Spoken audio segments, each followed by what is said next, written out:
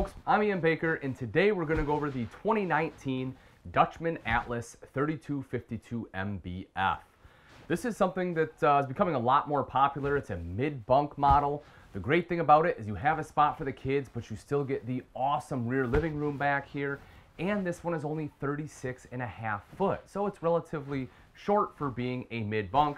So if you want to still be able to get into some of those smaller spaces, this one may allow you to do that. Let's start off right over here on our super slide. You have a freestanding table and chairs, which is great because we have a sofa in the back where people can sleep. And although a dinette, you know, does give you that extra sleeping space, it's usually not anything adults can utilize anyway. So I really like having this. It looks a lot nicer and it's easy to be able to sneak adults in here. If you need a little extra room, you also have the leaf. see if I can do this without slamming it down here. There you go. Just kind of pops up just like that. That will give you that uh, little additional space. That way you have a little more elbow room. Windows on the slide, you will see go all the way up to the top of the slide. So big windows in here which help uh, you know, open the space up and it's a little more inviting, lets in more light. Of course, you have LED lights up top. Right over here is your theater seating, the Thomas Payne collection. Uh, this one only has one cup holder. A lot of times your theater seating will have two, but this center console is a little bit thinner but you'll see that it does still have a spot for your remotes right here, and both of these do recline. It has like your kind of parachute style uh, little grab handle right over here on the sides. So if you lift that up, that will lift your uh, footrest up just like that. And then of course you can kind of lean it back there. It hugs the wall. That way you can sit back, relax, be able to watch TV. And this floor plan, just like many others, does have the TV directly across right where you want it. Right in the back here is your sofa. Uh, it's a love seat style, so you have the two cushions here with the larger end tables on both sides. Underneath those end tables, you have cubby holes, and under the cubby holes, you have an electrical outlet as well as USB ports on both sides of the sofa. Now, this is, as I mentioned, a trifold. I will make the bed up for you real quick here just to show you. It's pretty quick and easy. So you just take the cushions off.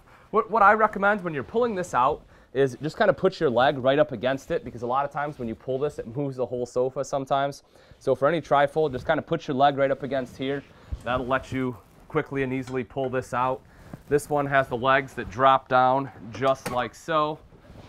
And then the back drops down just like this. So this is what your guests will get to sleep on. It's actually fairly comfortable as far as pullouts go. Uh, the trifold will definitely be the most preferred. You'll also notice you have windows here, so that way you get a good view out the back, especially if you have like oceanfront, lakeside, something like that, and windows on both sides, as well as storage across the top and a bunch of LED lights here. You see you have them both up top as well as right down below, so that way it is nice and bright in here at night.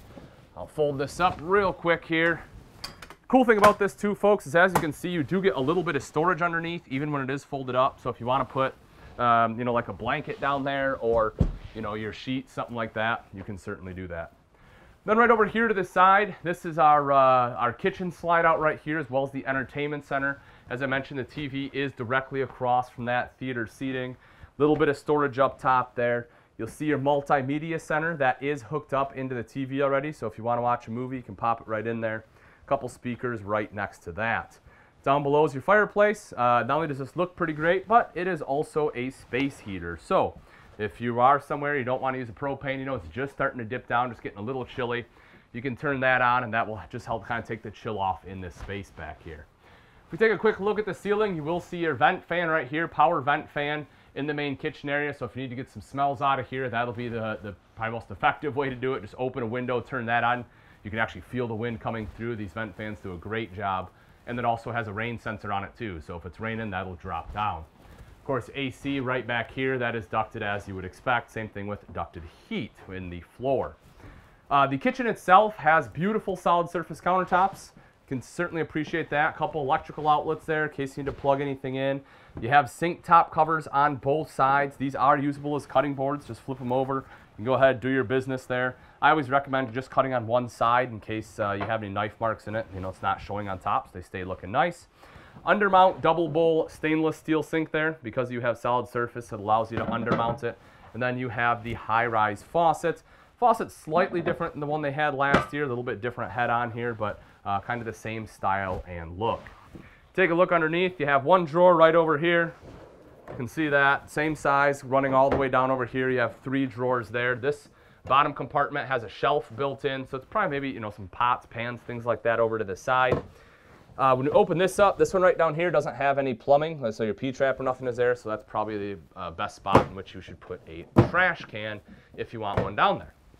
You have the Dometic fridge freezer combo right over here, stainless steel looking panels on there. When we open that up, uh, of course this is your, your hose for outside, but uh, it's just stored in there currently. Freezer obviously up top, your refrigerator right down below here. This one does run off both propane and electric and also has automatic switchover. Then we move over to this side. Again, still beautiful solid surface countertops. You have a power tower right there in the corner, so you can pop that up. Electrical outlets as well as dual USB ports. To drop it back down, you just push this little red button and it'll drop down just like so. You have the decorative backsplash. This is really cool. Has the LED light there and you know just gives it a little bit uh, more appeal. And then you also have the recessed cooktop with the glass cover. So that way you can utilize this as prep space you need to use it, no worries, just flip it up just like so. That'll give you access to that three burner cooktop, the front one there being high output. And then you have an oven underneath in case you want to do some baking. You do have drawer space underneath here. They didn't waste any space. And then these three drawers right here are pretty deep. So if you're looking for some, uh, you know, something you need to put in some bigger drawers, it's a good spot for it there. Storage right up here up top. You also have the stainless steel microwave as well as a hood with both a light and a fan. Over to this side, I really love when manufacturers able to put this in, and that is a pantry. You can see you have the frosted glass on there. Notice how it's dark, but when you open it up, you have motion sensored light, so that way you have light in here. Plenty of shelves. That gives you a lot of space for pots, pans, plates, food, really whatever else you want to toss in there. I like having the big pantry. You'll also see you have storage up top. Uh, although it's fairly good size, it is pretty tough to get to. So if you want to store things up there, you'll probably need a step stool. And then lastly, you have some additional storage right over here. Underneath, you have this little countertop piece with an electrical outlet, so maybe a good spot for a coffee maker, something like that. Underneath, you'll see you have additional storage there. And then your fuse panel right down here. You'll, of course, see your fuses for your 12 volt along the side, and then your breakers for your 120. And right over here as we enter into the hall is your main control panel. This, of course, has your tank monitoring panel on there, as well as your water heater, Notice that it can run off both gas and electric. You can turn both those on at the same time for faster recovery. Another cool thing right here, folks, this one has what they call in-command light. So essentially what that is, is you can download the in-command light app on your phone, connect to it via Bluetooth, and that will allow you to operate your lights as well as your slide outs right from your phone, which is pretty handy. The MaxxAir fan I showed you, the control for that is right here, and then your thermostat is right underneath it. And then this, of course, is the mid bunk. When we step in here, this is uh, where the kids get to sleep or any extra adults, you know, if you're having an adult weekend, whatever it may be. You have the big bunk on top and bottom. They're extra wide, which is great. You have lights on top and bottom, windows as well. You'll see over to the side there, you have electrical outlet as well as dual USB port. You have the same thing right over here, so a couple different places in which you can plug in cell phones, things like that. And then you have the storage like this on both sides. If you take a look at the bathroom, there are two entrances and exits. One right here into the master bedroom, the other one into your main living area. Right in between the two is your sink. Uh, not a huge bowl, but it's good enough to be able to wash your hands in here and be able to brush your teeth.